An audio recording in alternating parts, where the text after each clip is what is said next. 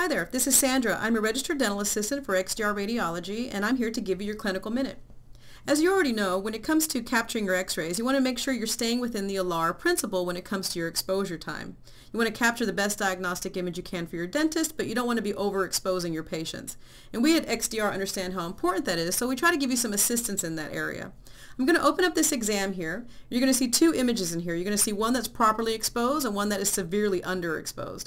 And you can tell right away which one the severely underexposed one is because it doesn't look too good. It looks pretty bad. You don't really see much detail. You see some lines in the image. But you can also tell it's underexposed by the XDR exposure meter down here on the lower left of the screen. And every time you take an x-ray in XDR, you want to make sure that the black line right there is always in the green. And for this x-ray, you can see that the black line is way in the yellow. It's in the low end. And that's why the image looks so bad because there wasn't enough exposure. So this would tell the operator that they need to bump up the exposure for their next shot or or they can bump it up and retake the image. And that's what they did. They turn up the exposure time, they retake the image, now the black line's in the green, and they have a better diagnostic image for their dentist, but they didn't overexpose the patient. Now, if you see the black line in the red area, that means the exposure was too high, and you can turn it down for your next shot. But if you see the black line in the yellow, that means it's too low, and you can turn it up.